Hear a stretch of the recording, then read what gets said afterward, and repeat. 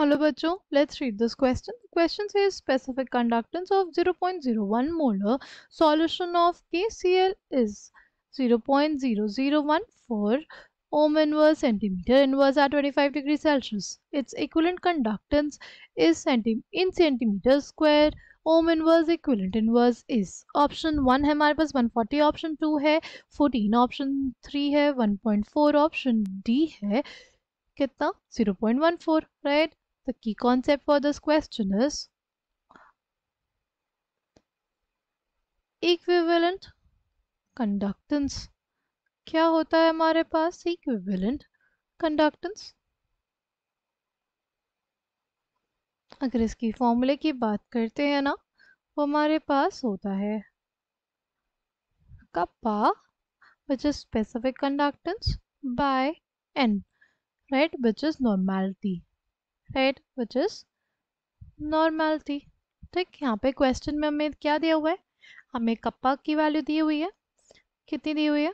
Kappa की value has been given has 0.0014 ohm inverse centimetre inverse right अगर हम लोग देखें, हमें नॉर्मैलिटी की वैल्यू निकालनी होगी बट हमें यहाँ पे दिया हुआ है मोलैरिटी और हमारे पास मोलैरिटी इनटू एन फैक्टर क्या हो जाता है? नॉर्मैलिटी के बराबर हो जाता है, ठीक? तो अगर हम लोग बात करते हैं एन फैक्टर की फॉर के सी एल के सी एल के लिए एन फैक्टर क्या हो जाएगा?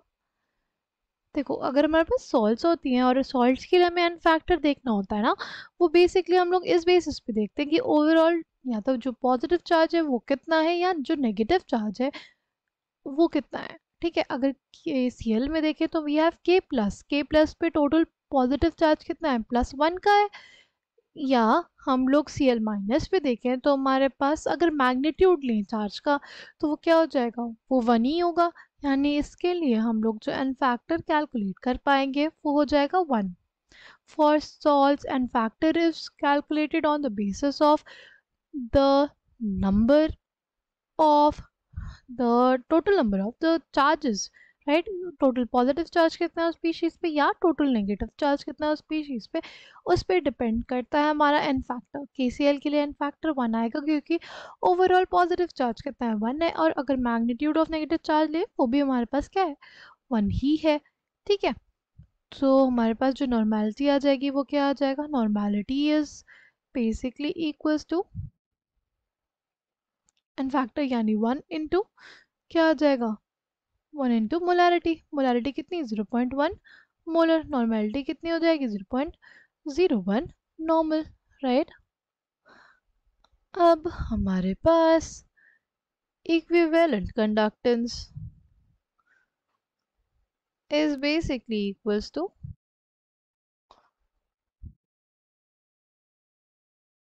kappa kappa कितना? Zero point zero zero one four.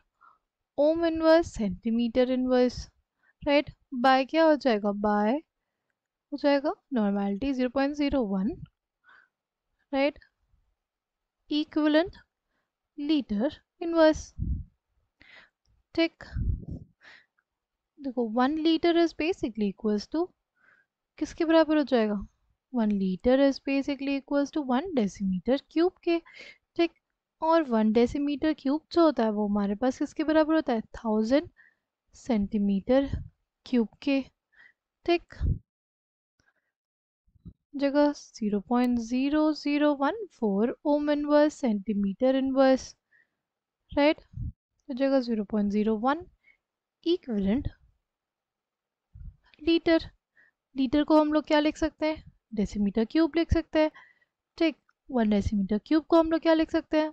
लिख सकते हैं हम लोग थाउज़ेंड सेंटीमीटर क्यूब अब क्या हो जाएगा देखो?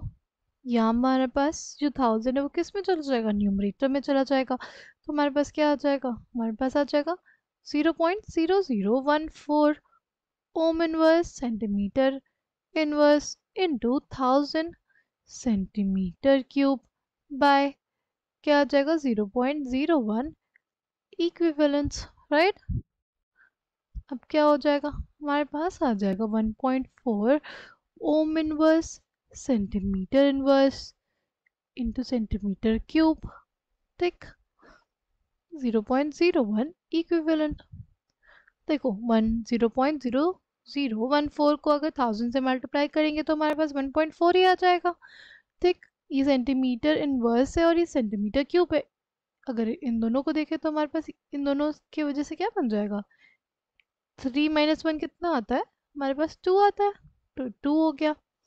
अब ज़ीरो पॉइंट ज़ीरो वन किसके बराबर होता है? बेसिकली हमारे पास ten raise to the power minus two के, है ना? तो इसको हम लोग लिख लेते हैं कुछ ऐसे। इसको हम लोग लिख लेते हैं ten raise to the power minus two equivalent ठीक अब न्यूमरेटर में जाएगा तो वो क्या हो जाएगा? 1.4 point four into ten raise to the power two हो जाएगा। तो हो जाएगा ohm inverse centimetre square equivalent inverse right अब क्या हो जाएगा? ये 1.4 पॉइंट फोर इंटू हंड्रेड होगा तो कितना हो जाएगा? वो हो जाएगा 140 ohm inverse centimetre square equivalent inverse. तो हमारे पास final answer for this question will be 140 in centimetre square ohm inverse equivalent inverse. Option one will be the correct answer for this question. I hope you understood it well thank you all the best